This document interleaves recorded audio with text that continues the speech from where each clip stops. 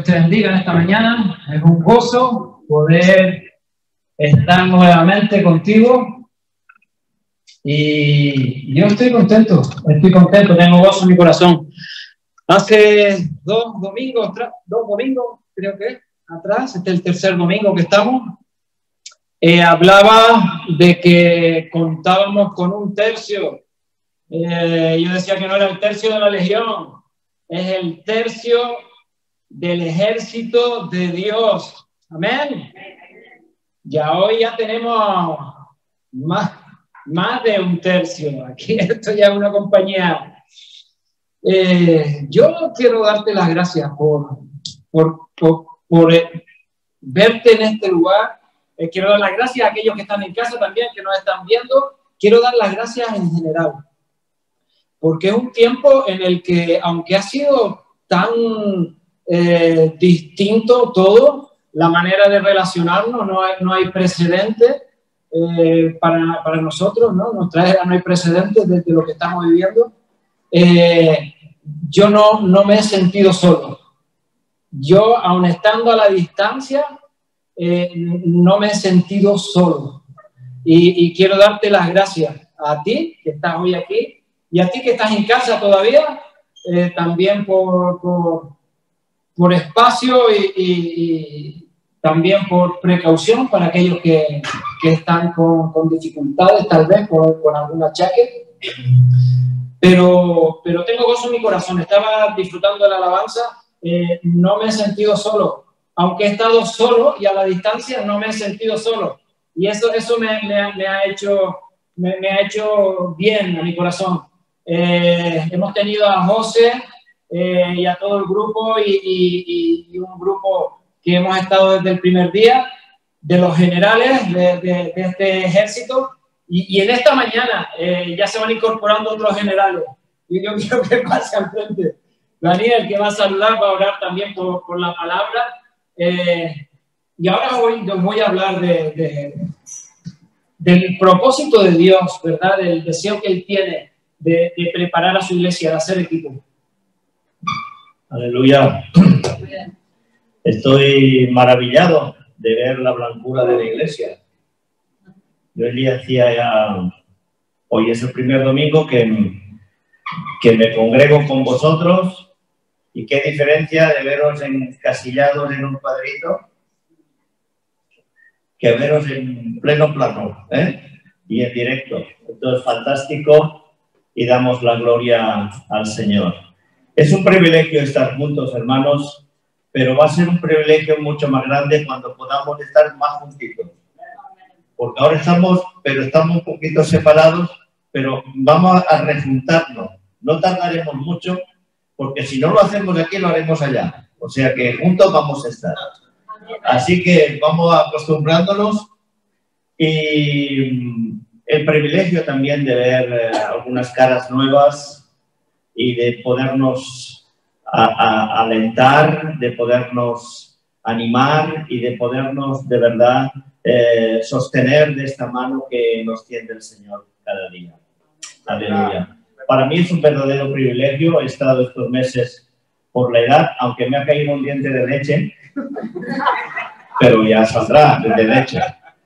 Y, y claro, durante este tiempo eh, quieras que no, eh, necesitas el calor de la iglesia. Es importante tener el calor de los hermanos.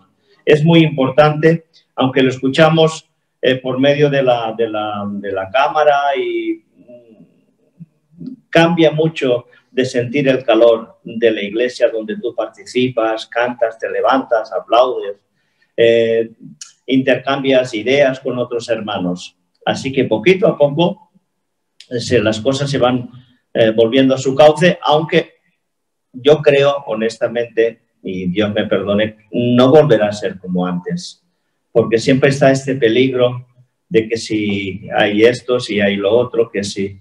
Bueno, yo diría que todo esto la Biblia ya lo dice, que es principio de dolores. Así que nos iremos acostumbrando, pero siempre con la mirada en alto y con la fe bien puesta en Cristo Jesús. Amén. bueno, si Dios quiere, no, hay ningún cambio especial ni ocurre nada raro, pues Javier me, me, ha dicho para el domingo que viene que pueda compartir yo algo que el Señor ha puesto en mi corazón para la iglesia. Así que me vais a tener aquí de nuevo, si Dios quiere. Si Dios quiere. Si no, si no quiere, pues vamos a estar en otro lugar. Pero Él quiere. Aleluya. Vamos a darle gracias a Dios, pues por este tiempo y por el culto, por la palabra, por los siervos que se esfuerzan en traer esta palabra. Aleluya. Padre, te damos gracias por tus maravillas, Señor, por tus bondades. Gracias, Padre, por la oportunidad de estar de nuevo aquí en este lugar. Más hijos tuyos, Señor. Sabemos que hay muchos más que están fuera. También, Señor, queremos que tu bendición nos alcance, Señor, ahí donde sea que estén en sus hogares, Señor, que la gracia tuya los alcance, no tan solamente a ellos, sino a sus familias, Señor, en el nombre de Cristo Jesús. Y queremos que en esta mañana tu nombre sea glorificado, Señor, que tu palabra nos llegue a nuestros corazones, nos haga sentir, Señor, realmente lo que somos, hijos tuyos, importantes, importantísimos para ti. Aunque en el mundo tengamos aflicciones, aunque el enemigo ataque, Señor, pero sabemos que somos tuyos y estamos aquí en esta mañana expectantes sabiendo que tú nos vas a dar el alimento y el socorro que necesitamos Esperamos, Señor, en esta mañana que tú obres en cada uno de nosotros el milagro que esperamos, Señor. Padre, pero realmente no busquemos el milagro, sino al hacedor del milagro, que eres tú, Señor. Gracias por la vida de Javier, Señor. Pedimos que tu gracia, Señor, en esta mañana, que tu Espíritu Santo lo guíe, lo acompañe, le dé facilidad de palabras, de ideas, Señor, que tú has puesto ya en su corazón. Padre, la bendición del Padre, del Hijo y del Espíritu Santo repose en la iglesia y en cada uno de nosotros. Amén. Amén. Yo estoy totalmente de acuerdo con Daniel. No va a ser igual, va a ser mejor. Aleluya.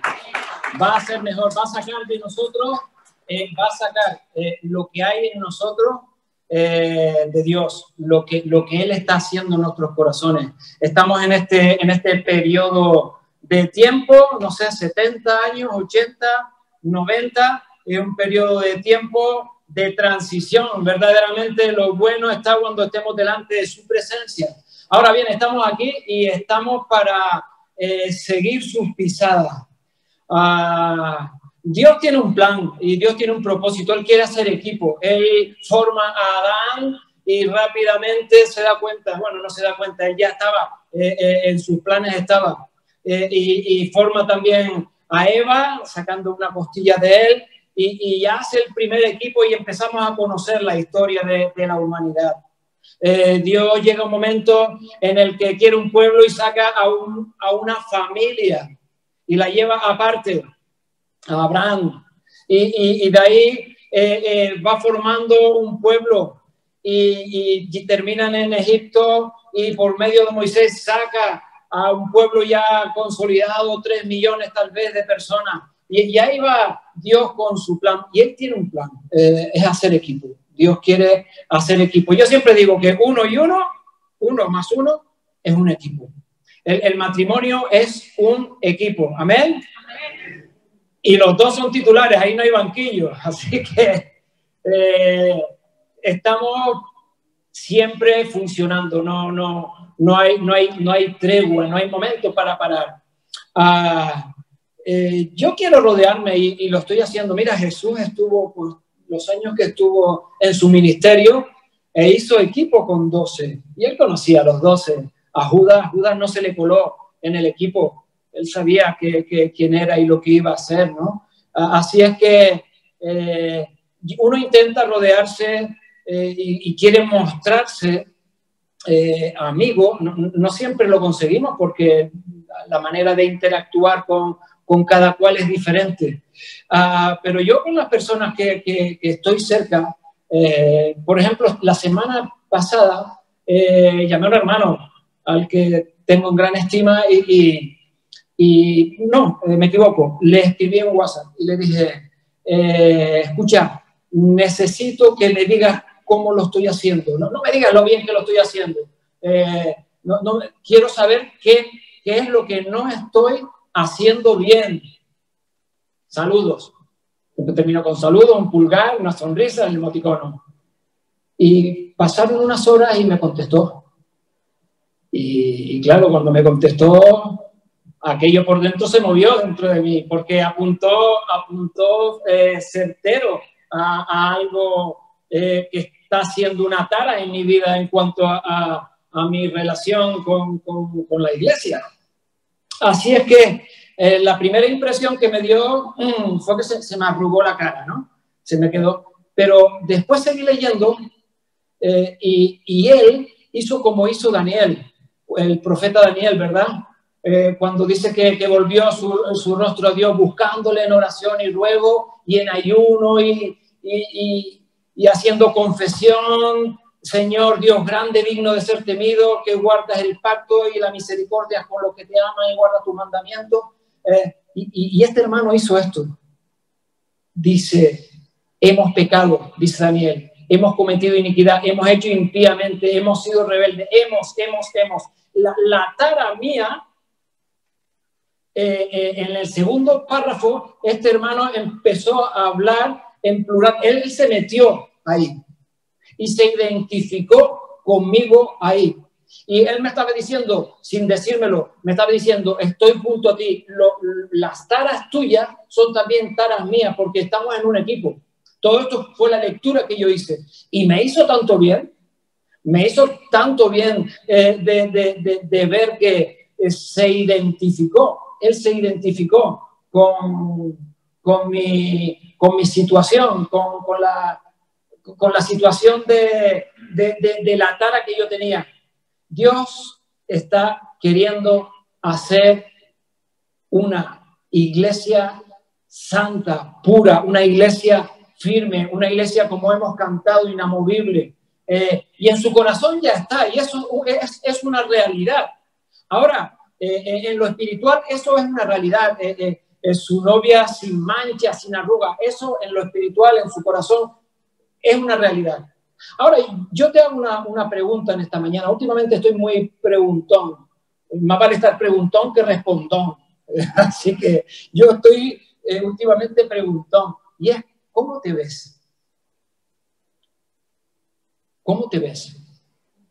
Eh, siempre que queremos emprender eh, alguna empresa, algo, eh, tenemos que hacer un balance de nosotros. Yo, yo, cada año pues tengo que pasar por, por, el, por, el, trabajo por la mutua, tengo que pasar por la mutua y me hacen un, chequeo y me dicen cómo estoy. Pero claro, si, si lo dejaran a mi, a mi libre Dios, pues yo podría decirle, pues bueno, tengo algunos achaques de, de pero me veo, me veo bien. ¿Cómo te ves?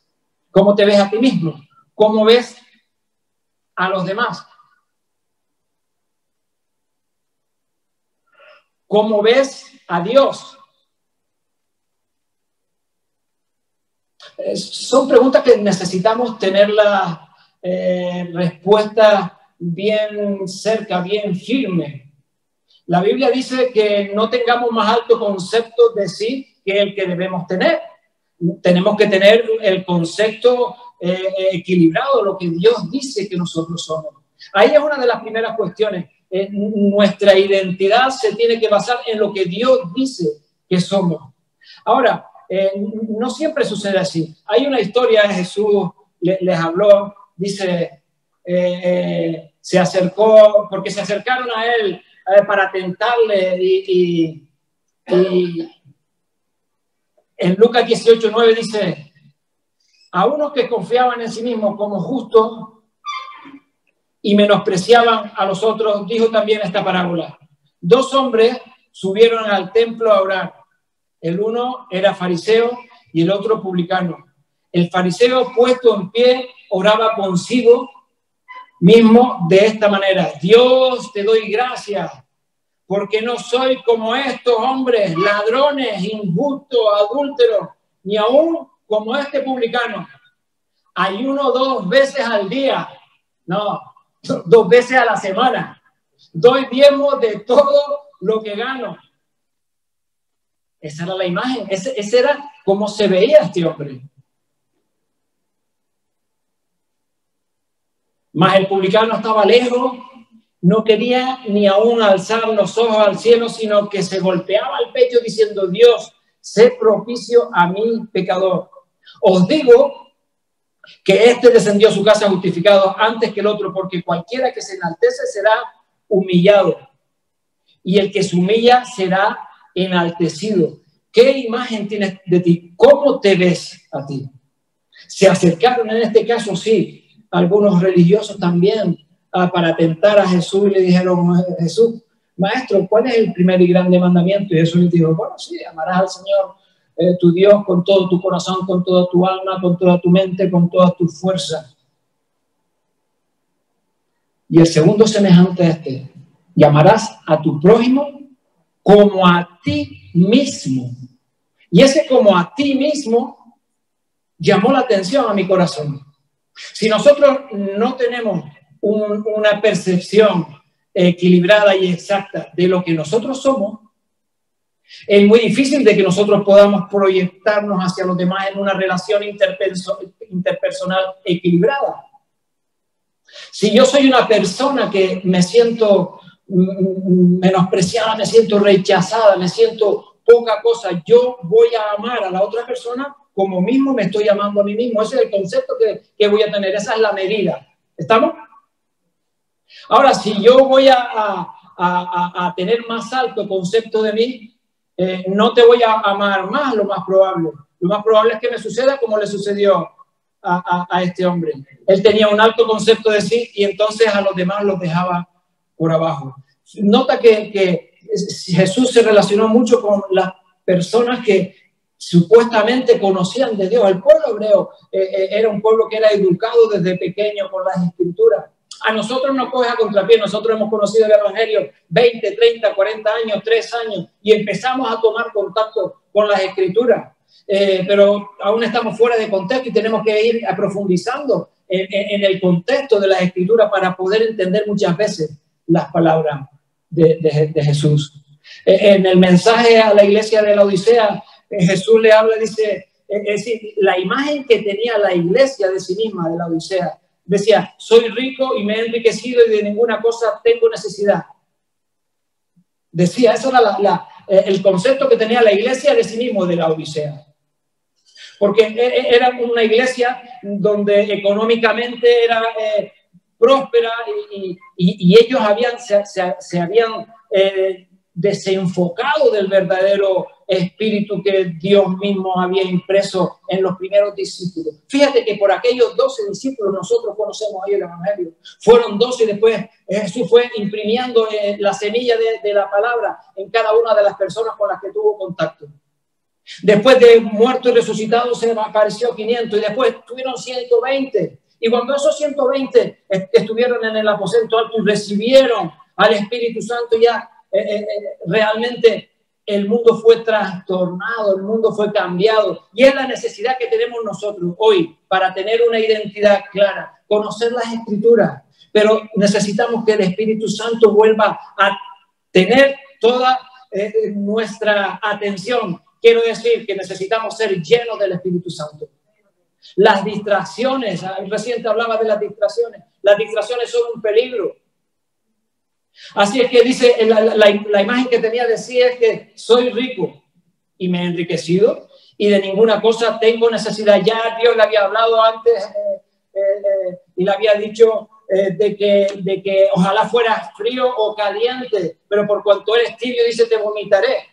Y ahí está en, esa tibieza de que conozco, conozco, pero me creo suficiente, creo que soy mejor. Y lo que Dios piensa de esta iglesia no tiene nada que ver, de esta iglesia me refiero a la Odisea. No sabes que eres un desventurado, miserable, pobre, ciego y desnudo. Y ahora te pregunto, ¿quién tiene razón? ¿La iglesia de la Odisea o, el balance que hace Jesús? La pregunta ya, en el examen la pregunta ya está subrayada. la pregunta ya está subrayada. Así es que necesitamos tener es, cómo nos vemos, tener una conciencia de, cómo, nos vemos. Y yo no quiero llevarte ahora otra vez, eh, porque entiendo de que la mayoría de los que estamos aquí hemos sido redimidos, amén. Hemos nacido de nuevo.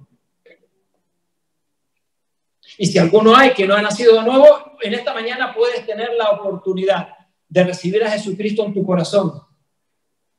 Pero no, no podemos tener un concepto más alto, ni tampoco un concepto más bajo. Ahí encontramos a Gedeón, como hablaba hace también algunas semanas, que se encontraba en un confinamiento y estaba en casa y cuando lo visita eh, eh, el Señor y, empieza a hablar con él, él llega a un momento en, en la conversación, jueces 6.15, y le habla de que su familia es pobre y yo el menor de la casa de mi padre y se estaba como menospreciando. Era una realidad, la familia pues no era una familia rica y, era una realidad que era el menor, pero eh, esa condición lo, estaba menospreciando. Y entonces vemos como, como él es retado y, y, y él es impulsado, catapultado por las palabras de Dios para hacer el propósito de Dios. Y con 300, después de tener 32 mil, eh, consigue la victoria. Así es que no podemos o no debemos tener un concepto más alto, ni tampoco uno más bajo, sino el que, el que, el que Dios tiene eh, para cada uno de nosotros. Hay una historia, la historia de, de, David, cuando él se levanta por la mañana y, su padre le dice, coge aquí unos alimentos y ve y visita a tus hermanos que están en el frente de la batalla y, me dice, me traes noticias de cómo están, llevas ahí unos presentes. Y dice que David dejó a, sus animales, a las ovejas, al rebaño que tenía eh, con un guarda y, y, fue a donde estaban ellos. Y cuando se presentó allí, encontró de que el pueblo estaba amedrentado. El pueblo, el, el, el ejército de Israel estaba intimidado. Porque resulta de que Goliat salía cada mañana durante 40 días a retar al ejército para que uno saliese a pelear con él. El chaval medía como unos 2 metros 75 o algo así. 2,98. Mira. 2,92. Ah, bueno, yo le puse plataforma. Yo le había puesto plataforma, le había puesto una, una bamba de Nike, que son más altas. 2,90. el hombre medía y cada mañana salía a intimidar al ejército. Y, entonces vemos eh, eh, cómo David se, interesa por aquella situación y viene a hablar con, el rey y le dice, no desmaye el corazón de ninguno a causa de él. Y, el rey le, le dice, mira, tú no puedes, tú no podrás ir contra el filisteo para pelear contra él, porque él, porque eres muchacho, le dijo, y él un hombre de guerra desde su juventud. Así es como lo veía Saúl a David. Saúl era el rey de Israel. No cualquier cosa, el primer rey. Y, y la diferencia de saber quién eres a no tener clara tu identidad la veo en esta situación. Veo a un jovencito que se levanta por la mañana y él no tiene en sus planes matar a ningún gigante. Él simplemente quiere obedecer y ser fiel y leal a las órdenes de su padre y lo, lo, ejecuta, yendo al frente a, ver cómo estaban a llevar los, alimentos. Y al ver esta situación, él le dice, no tienes por qué eh, de, que no desmayezca tu corazón, le dice. Eh, y no solo del rey, le dice, de ninguno. Eh, hermanos, yo estoy seguro de que David no improvisó en aquella ocasión. Él no tenía en su agenda ir a matar un gigante. Hoy me levanto y a las 11.45 voy a matar un gigante. No, no lo tenía. Pero él no improvisó. David simplemente cuando llegó allí él dejó que saliera de su corazón, de su boca, lo que él ya era. Por eso en esta mañana quiero animarte, porque si tú, como has confesado, ya eres redimido, Dios te ve, y eso es importante, ¿cómo te ve Dios? Dios ya te ve santificado. Dios ya te ve justificado. Dios te ve por medio de la imagen de su Hijo Jesucristo. Y eso no es poco. No es para estar eh, amedrentado ni intimidado por ninguna situación. En el mundo tendréis aflicción, le dijo Jesús a sus discípulos y nos dice a nosotros. Amén. Nadie lo dice con gozo, pero vamos a pasar por dificultades. Pero no tenemos que temer, eh, eh, él ha vencido al mundo. Así es que a, David no lo coge eh, de improviso.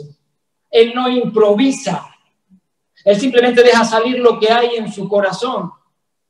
hay una cosa que, me encanta de esta situación, de que es que David no defendió a Dios.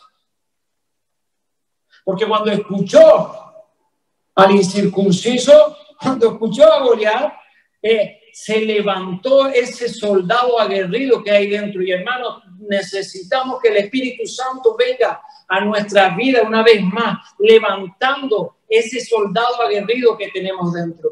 Eh, es la, la, vida de Jesucristo. Eh, nosotros no tenemos que defender a Dios. Es cierto de que la sociedad lo tiene en poco, aún se burla, pero Dios no necesita ser defendido. Dios necesita ser representado. Amén. Lo que hizo David fue representar a Dios. Él, no tenía en cuenta eh, la altura de, aquella persona. Él no tenía en cuenta la envergadura de, de tal paladín, de tal soldado. Él tenía en cuenta de que sabía quién era. Y lo que él hizo fue representar, representar a Dios. Ahora bien, necesitamos tener una identidad clara. ¿Qué fue lo que pasó con, con Saúl cuando se vio? Él dice, bueno, no sé si me ha tocado la lotería o, voy a tener que recoger a este muchacho del suelo hecho pedazo. Y dice, yo, yo tengo una idea, verás, David, ven, lo vistió con su, con su ropa. Y Saúl vistió a David con su ropa y puso en su cabeza, nota, un casco de bronce y le armó de coraza y, ciñó su espada sobre su vestido y probó a andar porque nunca había hecho la prueba. Mira, David cuando se encontró con todo lo, toda la armadura, eh, eh, no podía andar. Dice, y dijo David a Saúl, yo no puedo andar con esto porque nunca lo practiqué. Y David echó de sí aquellas cosas, hermano, eh, la identidad que Dios nos ha dado.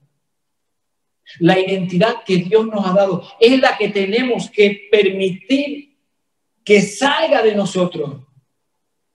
Dios no nos ha dado espíritu de cobardía, sino de poder, amor y de dominio propio en cada una de estas de las situaciones de la vida. Y en esta situación que estamos viviendo, eh, es lo que hablaba antes de Daniel, no tenemos por qué sorprendernos. Si es cierto de que, de, que nos coge a, contrapié un estilo de, vida y un estilo de relacionarnos y de funcionar totalmente diferente. Pero lo que tenemos que permitir es que de nosotros pueda salir esa vida de Dios que hay. ¿Hay vida de Dios en qué? Pues esa es la vida que tiene que salir. Cuando uno, por naturaleza, por naturaleza, cuando uno escucha algo que va en contra de Dios, se levanta ese soldado aguerrido y usa de estrategia. Usa de estrategia para ganar esa alma, para, combatir, para, para rebatir, para rebatir eh, eh, eh, cualquier afirmación, cualquier conducta. Y si no, para confesar lo que ya Dios ha, decretado sobre aquellos que no quieren saber nada de él. Mira, Dios ha dado a su Hijo unigénito, dice que para que todo aquel y todo aquel es, todo aquel, aún incluso de los que hoy eh, no creen en, Dios, no creen en la realidad de, Jesucristo, no creen en la, en la, vida transformada por medio del Evangelio. Aún para ellos Dios quiere que ellos sean salvos, ha dado su vida por ellos. Y ahora necesitamos nosotros que representar a Dios. Por eso necesitamos saber quiénes somos. Permitir que ese, esa vida que hay en nosotros salga porque es la vida normal del creyente, es la vida normal. No, estamos hechos para estar viviendo eh, eh, amedrentados, no, no estamos hechos para vivir, no es nuestra naturaleza. La naturaleza como, como, como nuevo nacido en Cristo Jesús no es esa. Es, es, la naturaleza aguerrida de un soldado, de, de una persona que se, se, sabe que está en, en, en plena milicia y, y, sabe que está en un conflicto espiritual. No, no es cualquier cosa. El decidir ser cristiano no es cualquier cosa. Algunos achacan que es para los débiles, los pobrecitos, y bueno, cuatro drogadictos que no tenían a dónde ir, nada que ver. Gloria a Dios, porque Dios nos alcanzó en el camino a los cuatro drogadictos los, los y, a las cuatro personas también, que no son cuatro. La, en, en, Apocalipsis tú lees eh, cuando está en la adoración, en la eh, adoración celestial y hay millares de millares. No vamos a hacer poco. Aleluya. Ahora que de momento somos un pequeño número, pero como hablaba el reciente Gedeón con 300 personas, con 300 soldados, fue capaz de obtener la victoria ante un ejército numeroso. Y nuestro, nuestro eh, enemigo no son las personas que no conocen el Evangelio para nada. Eh, Dios quiere alcanzar, Dios quiere que, se reconcilien con Él. Nuestro enemigo por excelencia es el diablo que viene a intimidar, que viene a cambiar nuestro estilo de vida. Y la, la pregunta en esta mañana es, ¿qué estilo de vida estás llevando? ¿Cuál es el estilo eh, de vida que, que, se por, qué estilo de vida se caracteriza cada una de nuestras vidas.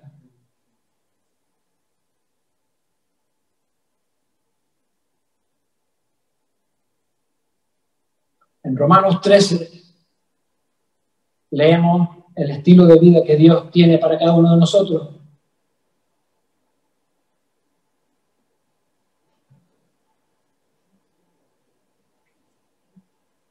El versículo 11 de Romanos 13 dice, y esto, conociendo el tiempo, conociendo el tiempo, y, necesitamos conocer el tiempo que vivimos, pero aquí está hablando Pablo del tiempo en el que está, en, en, entre el periodo, entre el periodo de, de, de, de, que Jesucristo murió por cada uno de nosotros y resucitó, hasta ahora, donde eh, nuestro estilo de vida eh, Dios nos ve redimidos, nos ve justificados, nos ve santificados. Y nosotros necesitamos vernos así. ¿Qué pasa? Que aún convivimos con el pecado. Por eso es este tiempo, porque aún convivimos con el pecado. Y ahí es donde está el centro, el epicentro de lo que en esta mañana creo que Dios quiere que sepamos. Que aunque estamos en el mundo, no pertenecemos al mundo. El pecado no puede, no, no, no ha de enseñorearse de nosotros. Nuestra naturaleza, nuestra nueva naturaleza, es la que tiene que verse reflejada a, nosotros hablar. Nuestra nueva naturaleza se tiene que ver reflejada al nosotros mirar. Nuestra nueva naturaleza se va a reflejar incluso en, en, nuestra forma de andar, a dónde vamos, a dónde nos vamos. Y cuando encontramos que algo que es contra esa naturaleza, se va a levantar ese soldado como se levantó en David. Se va a levantar y, lo va a enfrentar, va a enfrentar esa situación.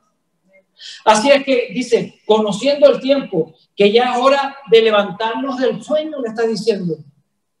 Porque ahora está más cerca de nosotros nuestra salvación que cuando creímos. Jesucristo va a volver pronto. Amén. Ahora está más cerca, dice Pablo. La noche está avanzada, ¿cierto? Las tinieblas es, eh, es lo que se está viviendo en la sociedad y se acerca el día. Y es donde quiere hacer énfasis y es donde el Espíritu Santo creo que quiere que, haga, que hagamos énfasis, que se acerca el día. Es, es una realidad la guerra espiritual en la que estamos enfrascados. Es una realidad. Es una realidad que aún eh, se, se convive con el pecado, con la enfermedad, con la muerte. Es una realidad. Pero nosotros, nuestra naturaleza no está ahí. Nuestra naturaleza es una nueva naturaleza. Si alguno está en Cristo, nueva criatura es. Las cosas viejas pasaron, hay aquí son todas hechas nuevas. Así es que ahora cuando nos enfrentamos, y te repito, en una situación en la, en, la que se levanta un Goliat, se levanta una, una conversación, se levanta una ley, se levanta cualquier historia en contra de lo establecido por Dios, se va a levantar en ti, se tiene que levantar en ti ese soldado guerrero no puedes eh, quedar intimidado, no, no puedes quedar eh, mm, asustado, amedrentado, porque no es nuestra naturaleza. Por eso vuelvo a la primera pregunta, ¿cómo te ves? Aleluya. Es muy importante tener una identidad clara, porque esa identidad va a marcar los pasos a donde yo vaya. Desechemos pues, dice en Romanos 13, 12, desechemos pues las obras de las tinieblas y vistámonos de las almas de la luz. Andemos como de día, honestamente, no en glotonería, en borrachera, no en lujuria y lascivia, no en contienda y envidia, sino vestidos del Señor Jesucristo. No pudo andar, no pudo andar David con la vestimenta del, era un rey, pero David no representaba a ese rey, David estaba representando a Dios. Cierto que, que, él era de la nación de Israel y, y era su rey, que nota que el pueblo le pide rey a Dios. A Samuel le dice, queremos un rey igual que todas las naciones. Y, Samuel va a Dios, el profeta Samuel va a Dios, y Dios le dice, no te preocupes, que, no te desechan, no, no, te desprecian a ti, no te tienen en poco a ti, me tienen en poco a mí, dice Dios. Y Dios les da un jefe en el original de los que saben del, idioma, eh, lo que Dios le da es un jefe, la palabra que utiliza es jefe. Y el jefe que Dios le da a Israel Israel lo, lo pone como rey.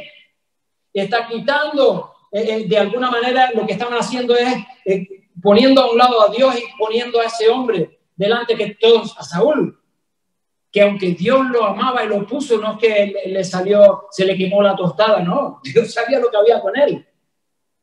Pero David estaba representando al más grande, al rey de reyes, al señor de señores. Y él tenía una identidad clara.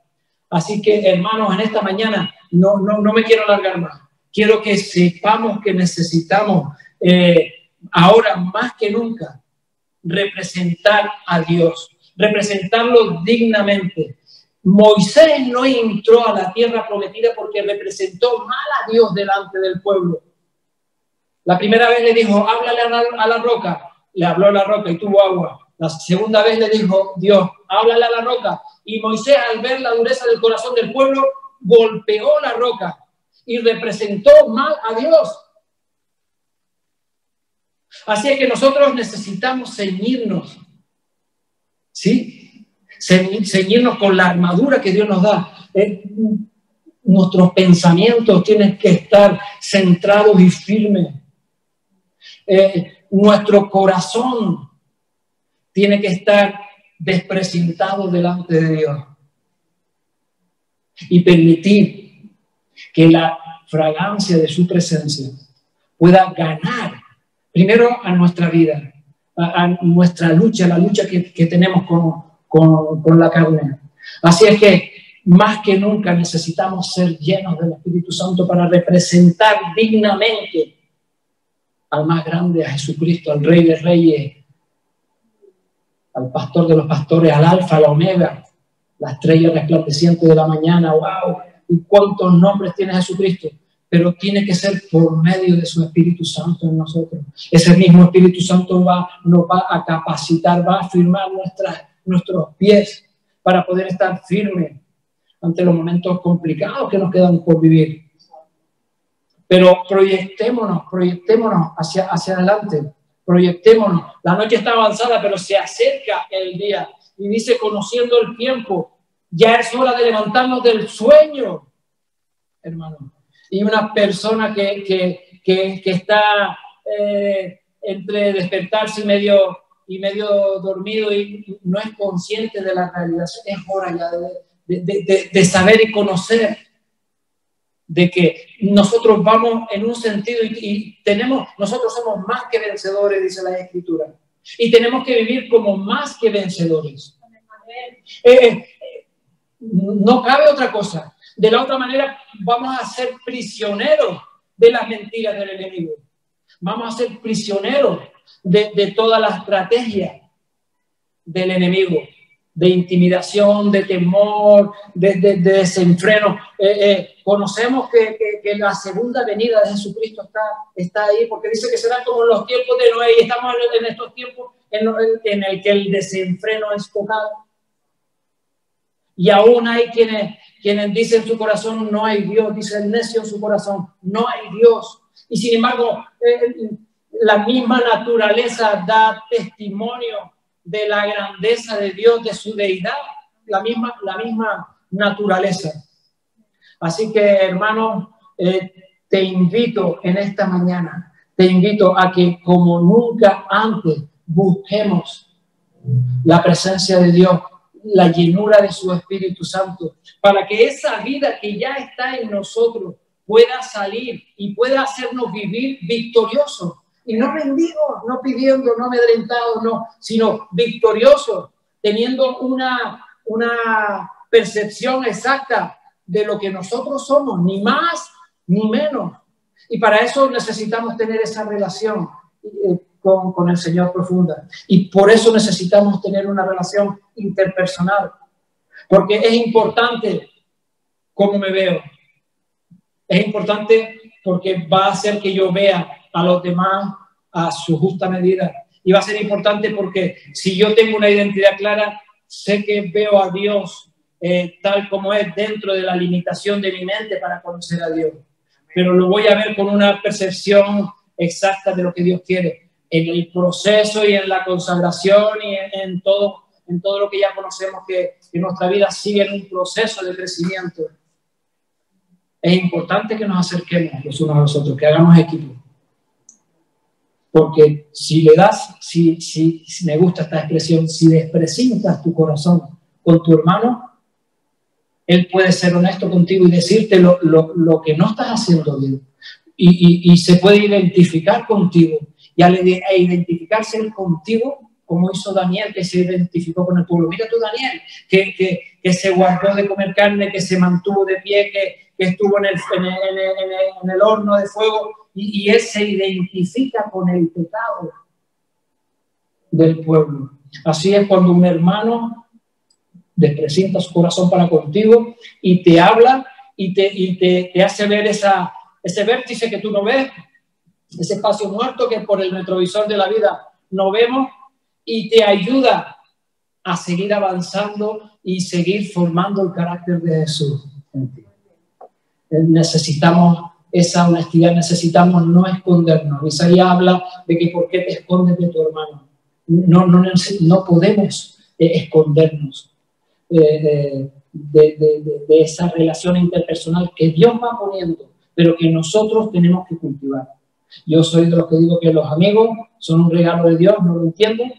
Eh, el amigo es un regalo de Dios nosotros tenemos que cuidar la amistad. No todos estamos llamados a ser amigos, pero sí somos hermanos y pertenecemos a, eh, un mismo cuerpo. Y si Dios eh, enlaza las vidas y las almas en amistad, debemos aprovecharlas. Así que permitamos en esta mañana que Dios gane nuestros corazones, que Él siga ganando nuestros corazones, porque aún hay mucho trabajo por hacer. Aún en este en esta comarca, en esta población, eh, hay muchas almas que tienen que conocer eh, eh, el amor de Dios. cuando si lees en Daniel la oración en el capítulo 9 y, él está pidiendo a Dios después de alabarlo, de adorarlo, y le está pidiendo que, que no entiende, que quiere revelación también de lo, de lo que ha pasado. Y, y, cuando se le presenta el ángel, le dice, eres muy amado. Aleluya lo primero que le dice es, eres muy amado. Y en esta mañana yo te digo de parte de Dios, eres muy amado, eres muy amada. Aleluya. Dios viene con, con amor eterno a, a, a, traer con cuerdas de amor, a, llevarnos hacia, hacia su regazo. Así es que eh, te dejo en esta mañana, eh, que Dios te bendiga, que eh, nosotros seamos lo suficientemente consecuente con, su palabra y con, la confirmación que Él va a traer a cada uno de nuestros corazones de que necesitamos ser llenos del Espíritu Santo. para conquistar nuestro corazón, para conquistar nuestra familia, para conquistar nuestra población, para conquistar nuestra nación.